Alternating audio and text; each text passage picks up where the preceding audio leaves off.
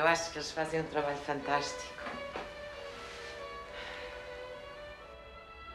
Disse-te que o Gabriel está em Lisboa.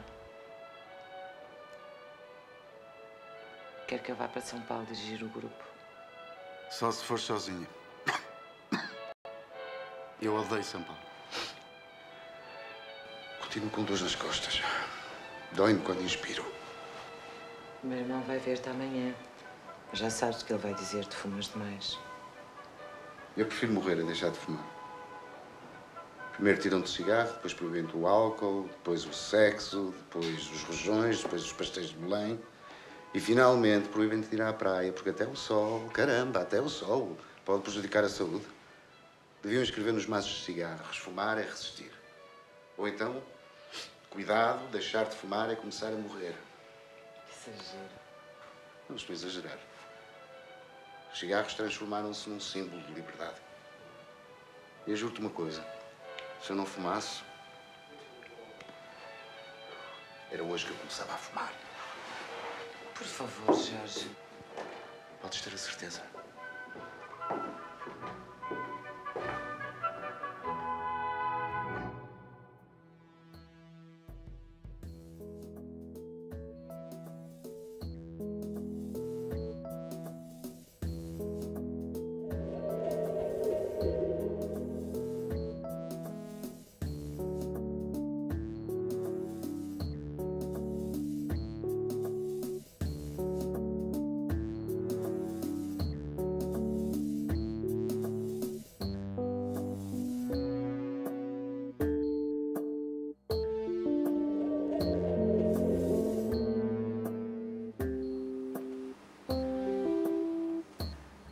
Tua mulher?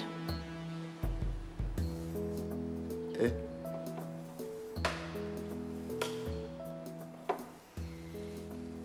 Deve ter sido muito bonita. É a Vera Regina. Vera Regina, a verdadeira rainha. Nome interessante. E neste caso, está correto ou não? Os pais dela achavam que sim. Prefiro saber o que tu achas. Eu casei muito novo. Ainda vivia na Nazaré. Apaixonei-me, tinha eu para aí os meus 18 anos. Mas ainda tive que esperar algum tempo até que ela reparasse em mim. Eu tinha a mania que era pintor, só que não tinha talento. Também não conhecia as pessoas certas no meio artístico, o que já na altura fazia diferença. Isso a que se chama talento pode às vezes prejudicar uma carreira. É o aviso? Não. Tu não tens talento. Obrigada.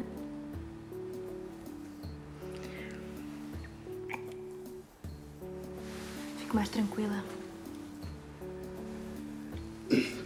Se não fosse a Vera, eu hoje em dia eu era um pintor medíocre. Foi ela que me convenceu a abrir a galeria. Comprou-me este espaço aqui, apresentou-me às pessoas certas. E hoje em dia sou um galerista respeitado. Gosto do que faço e até há pouco tempo eu pensava que era feliz.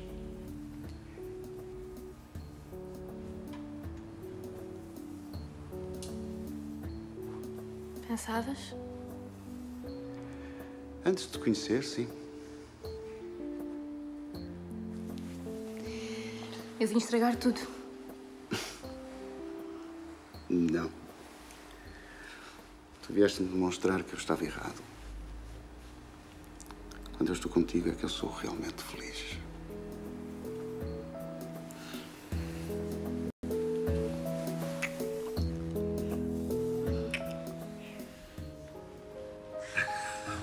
Mas pensa, pensa um pouco, Vera. Gabriel, eu não posso sair de Portugal, não posso deixar o meu marido. Ainda por cima ele detesta São Paulo. Catarina? Quem não detesta São Paulo? Você é a pessoa certa para dirigir o grupo. Eu gostaria muito, mas muito, muito que seja você.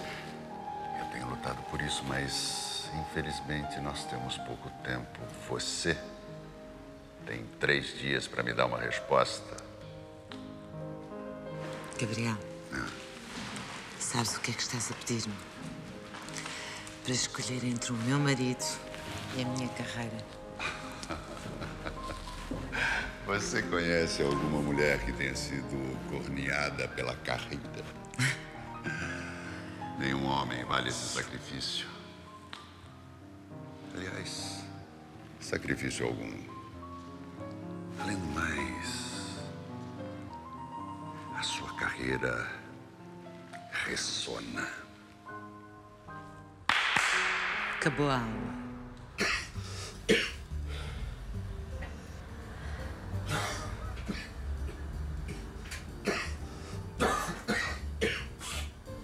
Meu Deus, preciso de um cigarro.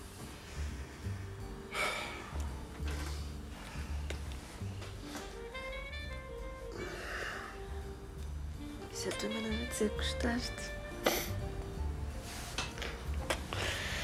Minha maneira de celebrar a vida.